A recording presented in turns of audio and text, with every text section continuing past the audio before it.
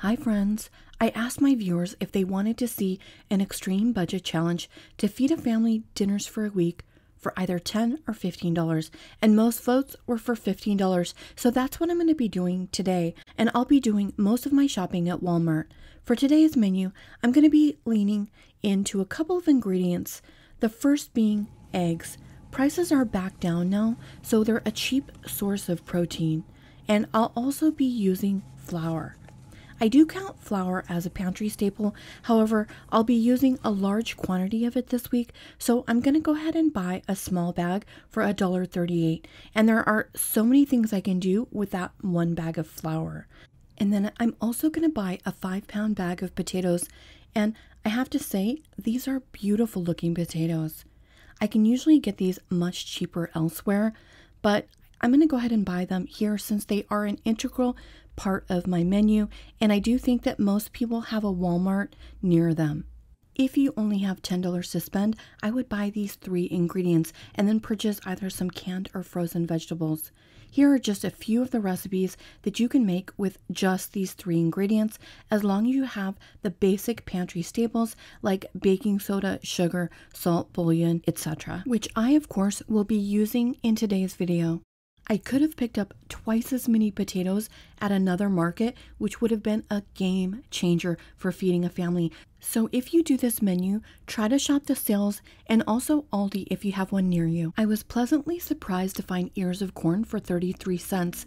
If I cut these in half, I could get two of these and we could have the mini cobs for one of our dinners. And I tried to find the largest ones.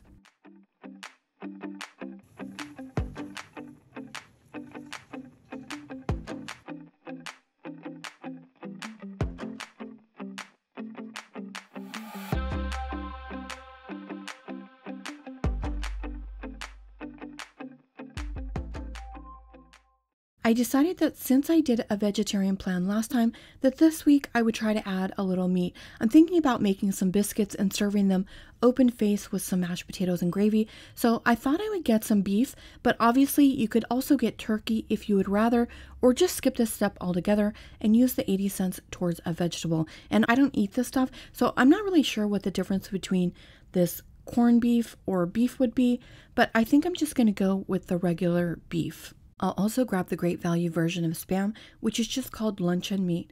This is going to give us a lot of flavor to at least a couple of our meals. And I'll also pick up this can of chicken. I consider purchasing just one chicken breast, but in my area, the best I could find at the deli was $3.99 a pound, which just isn't going to cut it for the budget. But if it's on sale, that might be a better option for you. You'll get a lot more chicken in one chicken breast than in this small can. I'm getting this tomato sauce, which could be used several ways. First of all, it would be excellent in a soup, but I'm thinking about making a pasta frittata and making a spicy marinara sauce to pour over the top. I wanted some kind of greens, and they were supposed to have bunches of kale for $1.48 each, but they were sold out. And I had spinach last week, and besides, I already have my heart set on kale, so I'm just going to pick that up at the other market on my way home. I recently noticed they started selling individual heads of romaine. Well, now they're selling two sticks of butter also, which is the first time I've seen this. I already have butter in my stash at home and I will be using it today, but it is optional. I stopped by my favorite produce market on the way home to pick up some carrots because Walmart doesn't sell loose carrots and I really only need one. I'm also going to grab a small brown onion because they always have them on sale. I tried to find the smallest one I could because I don't need a lot. I'm just going to be using it as a flavor enhancer. They only had organic kale in, which was a little bit more expensive, but like I said, I'm in the mood for kale, so I'm gonna get it. But I noticed they had three varieties, all for the same price, and I do love this Italian kale, but it's a much smaller quantity, and I haven't had the purple kale for a while, but it also looks like it's a little bit smaller. I think the biggest one is gonna be just the regular green kind, so that's what I'm gonna go with. Obviously, if you get your kale cheaper, then you can also have a bonus of being able to add an extra vegetable into the grocery haul. I spent a total of $15.09. The only thing that you haven't already seen was the tomato and the evaporated milk, which I already had in my pantry. But the current cost of that item has been added on. And also, I have a lemon here, but just ignore that because I didn't end up using it and I subtracted it from the total. There are so many things you can do with flour. It really is like the magical ingredient in budget cooking, and it's the single most important ingredient to stave off hunger. You can make bread, tortillas, pierogies, empanadas, dumplings, arepas, so, so many things you can make with it. And I'll show some of those that I've made in the past at the end of this video. But for this menu, I'm going to be relying heavily on biscuits. Usually, when I'm planning for families, I like to keep the cooking time as low as possible, and I think that's what we can accomplish with biscuits. I bought a two pound bag of flour, and with my recipe for biscuits, you could make three batches and still have a cup and a half of flour left over for making gravy and for rolling out your biscuits. And obviously, if you already have some flour at home, you could use that to make even more. All the recipes will be in the description area of my video.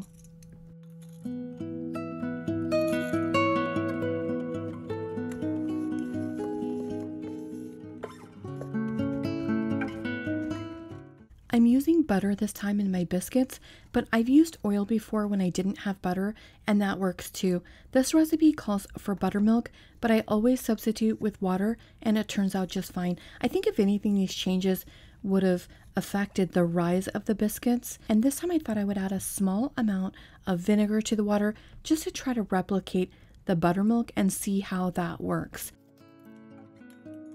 Biscuits are such a beloved food here in the US. I think there are few recipes more highly debated. Maybe chili comes close. It's so funny. One of my viewers was telling me the other day that in Texas, they don't consider it chili if it has beans in it. And I guess salsa might be heavily debated also. But still, I think maybe biscuits might be the most heavily debated. Everyone has an opinion on how to make the best biscuits and exactly what temperature they should be cooked at. I myself don't make biscuits very often, but when I do, they always turn out delicious. I try to handle my biscuits as little as possible, so I knead it just enough to get all of the ingredients combined and get it into a form that I can roll out. They say if you handle it less, you'll have more tender biscuits. After last week's video, some of you may be wondering if this was my grandma's recipe, and it's not. I wish it was. I had some things that were stolen in a move once, and my recipe book was in there. This is just a recipe I found on Allrecipes for Kentucky biscuits, and some of the reviewers said it tasted like KFC biscuits, and after making it, I have to agree. I like this biscuit recipe. You can make these round, but you can also put these in a pan and then just cut them into squares. And some people like to do drop biscuits also, but I prefer to do rounds. I suggest making a batch of 12 regular size biscuits and then a batch of 8 large or grand size biscuits. That'll work best with the menu that I have planned, but you'll see what I mean later when you see the meals. The last time I made these, some of my viewers recommended resisting the urge to twist when you push down on the biscuit, and I can't tell you how hard it is to not twist, but apparently it helps them to rise better when cooking. People that make these on a regular basis can make such beautiful biscuits that turn out uniform every time. I don't expect that mine will be beautiful, but I do think they'll taste great. And I ended up getting 14 biscuits, which means mine are probably a little thinner than they should have been. I had this extra dough, so I thought I would make a little cinnamon roll bite. The only difference between cinnamon rolls and biscuits are cinnamon rolls have yeast, which helps them to rise and be lighter and fluffier. And then I'll just add a little bit of butter. And I picked up this cinnamon sugar mix from Dollar Tree that I've been wanting to use. So I'll just sprinkle that on there and then roll this up and then see how it tastes when it's done.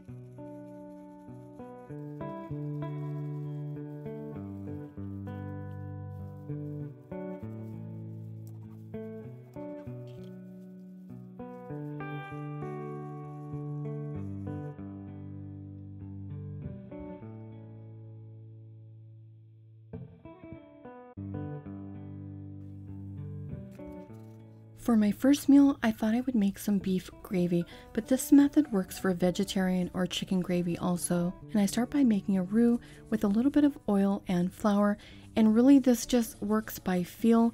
So once you've learned how to make gravy, you know how to make it every time, and you just realize that if you're gonna make a bigger pot of gravy, you're gonna need more flour and more oil.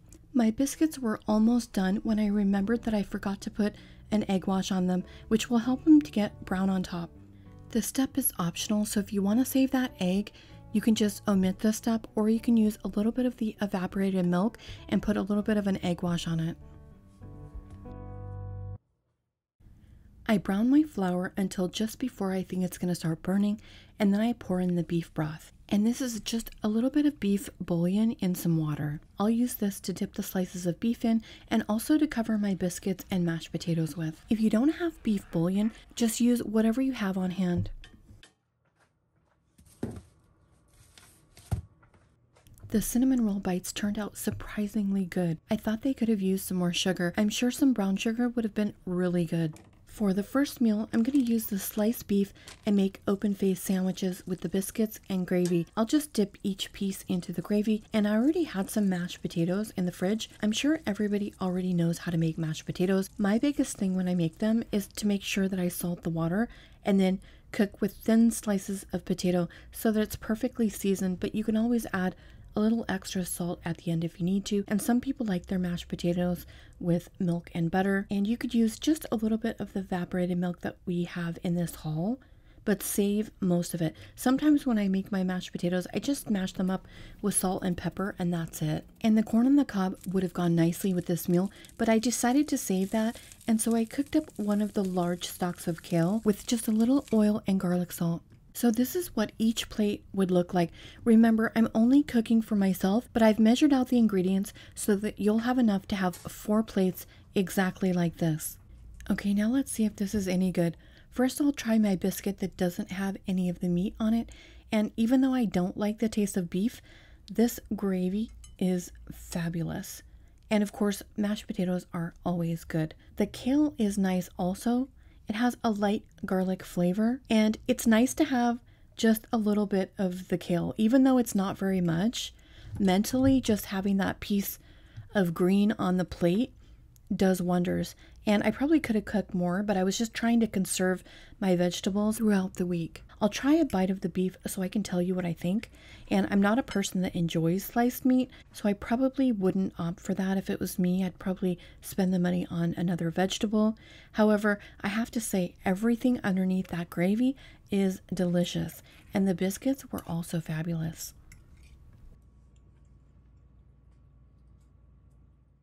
For my next meal, I'm making hash browns, and I'll save the peelings to fry up later. I've just got those soaking in some water, and I'll grate up one quarter of the onion into the hash browns. That's going to give them some amazing flavor, and then I'll save the rest of that for later.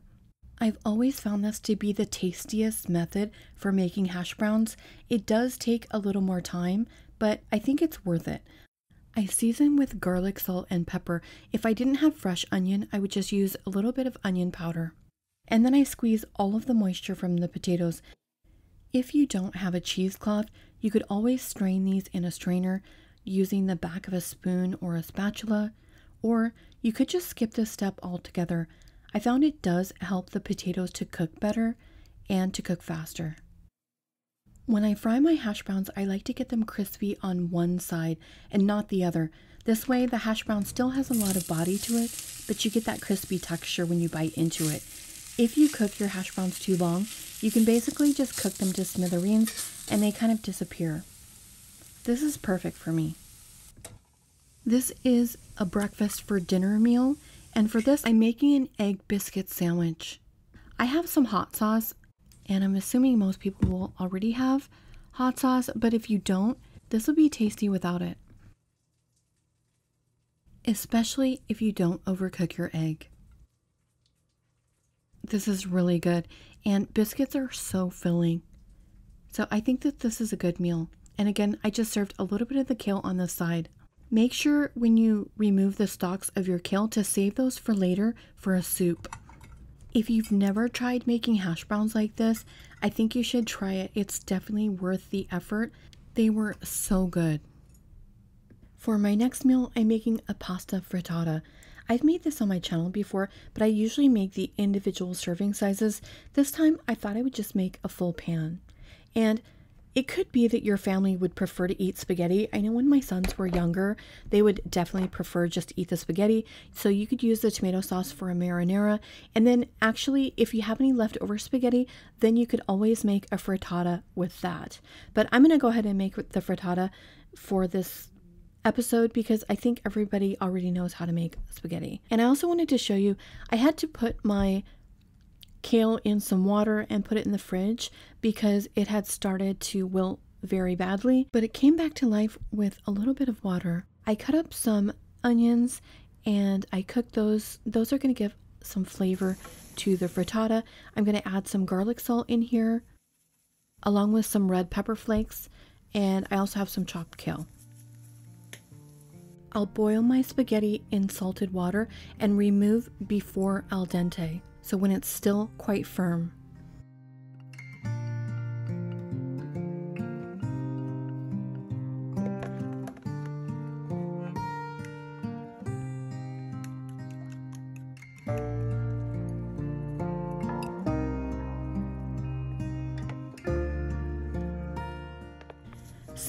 Cook their frittata on the top of the stove, but the recipe that I'm loosely following has you brown it on one side and then finish off in the oven for about 10 minutes at 350 degrees. And I actually cooked mine a little longer than that. I like to make sure that the white part of the egg is always well done. And here are the spices that I'm gonna add to this marinara. I always add a small amount of water and some vegetable bouillon and this just helps to flavor it and it also helps it to cook easier because I like to simmer it for a long time with all of the spices together until it gets rich and flavorful.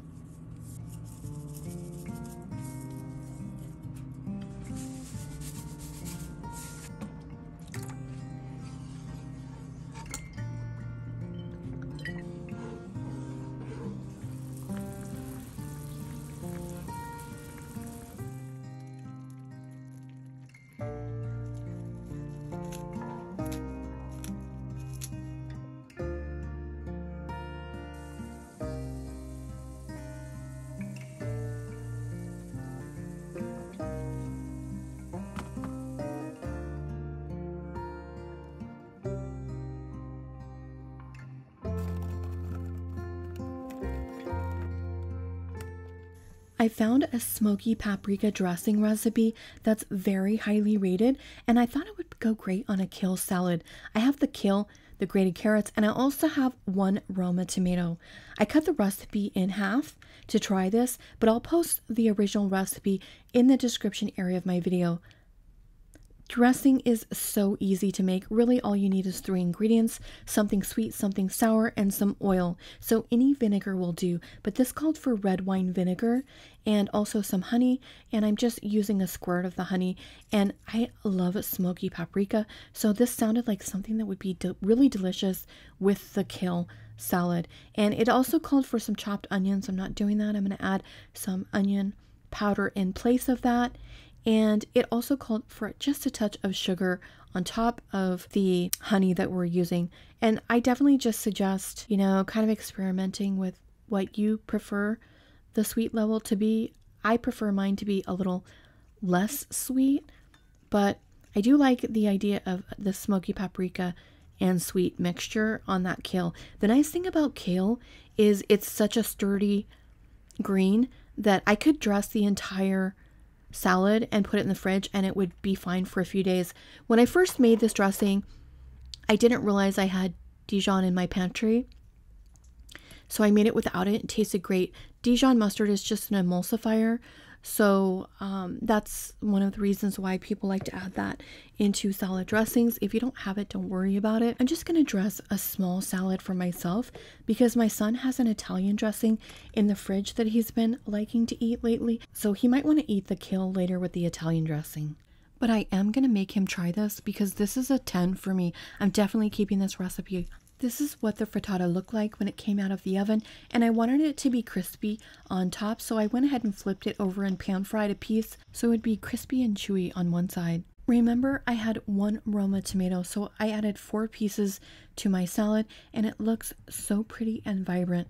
For the corn, I added some butter and some of the Trader Joe's everything but the elote seasoning, which I love. You can obviously recreate that from your spice cabinet if you don't have it, but it has a smoky flavor. I thought I would do something fancy with the tomato sauce. I served it in a bullet, but then I thought I would try spreading it over the top. So I put it in this little Ziploc bag and it looked okay, but I'm not sure I would serve it that way again. When I ate it, I actually just like dipping it into the silver bullet of marinara, and it definitely needs marinara to balance it out because it is a heavy, uh, rich flavor.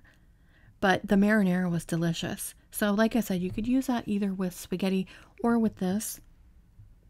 I served it with a large piece of the frittata.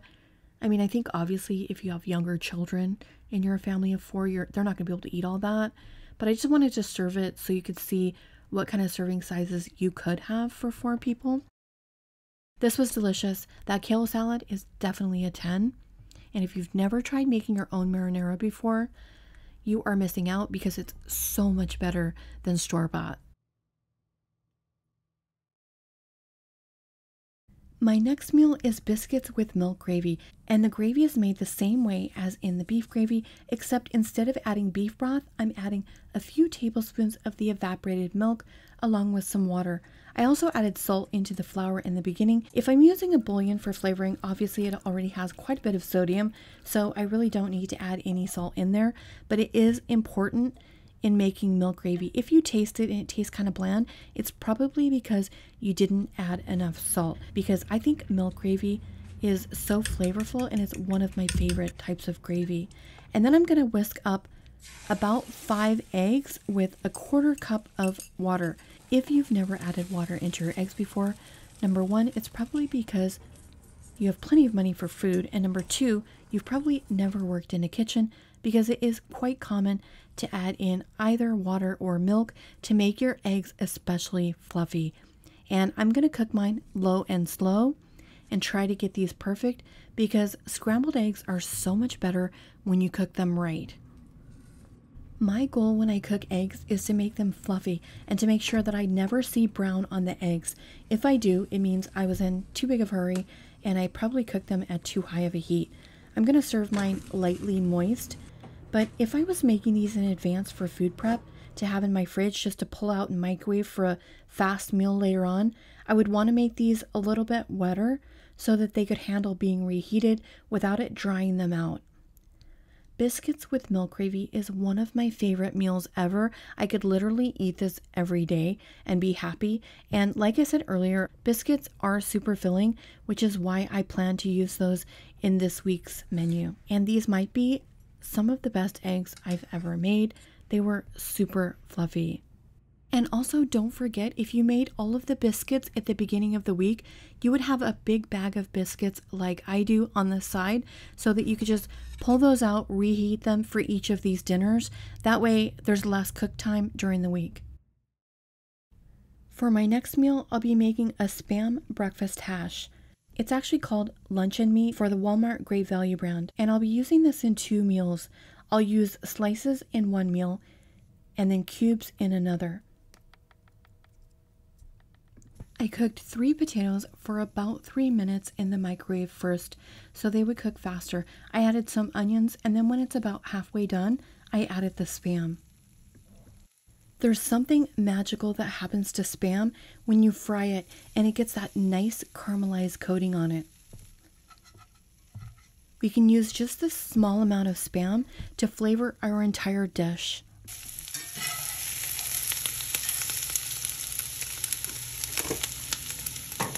I serve this with two biscuits and a fried egg, and I don't eat much meat, but I have to say this spam was ridiculously good. It's so flavorful and chewy and a little salty.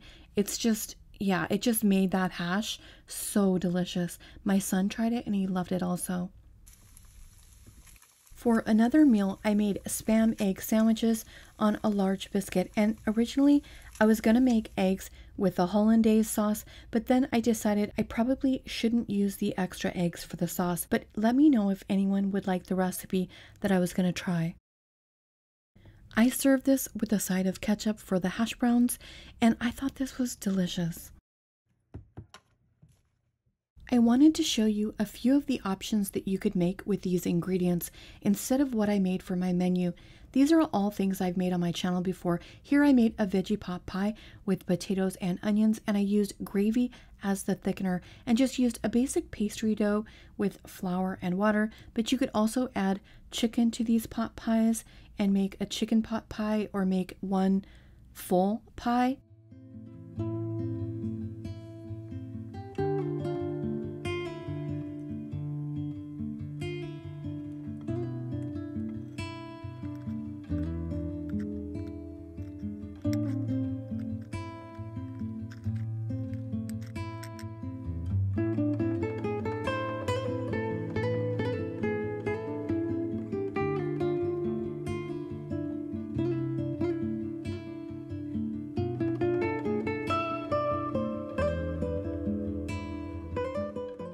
Also made an empanada once, which my aesthetic wasn't that great, but it did taste good. And I think a curried potato and onion filling would be awesome in an empanada.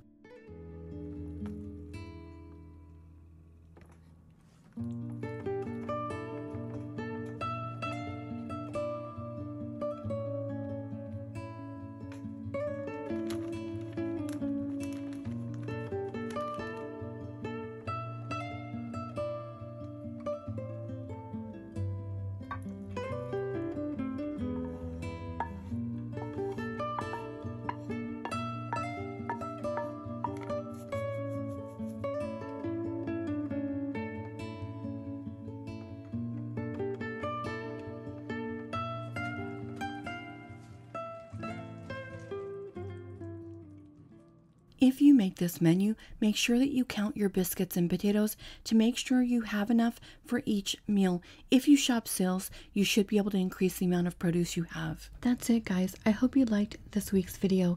Thanks so much for watching, and I'll see you soon. Morning has broken, my windows are open. Wanna feel the wind blow through my hair. Which way do I follow? What happens? I turn to you you can guide the way. Sometimes I give up, just wanna be on my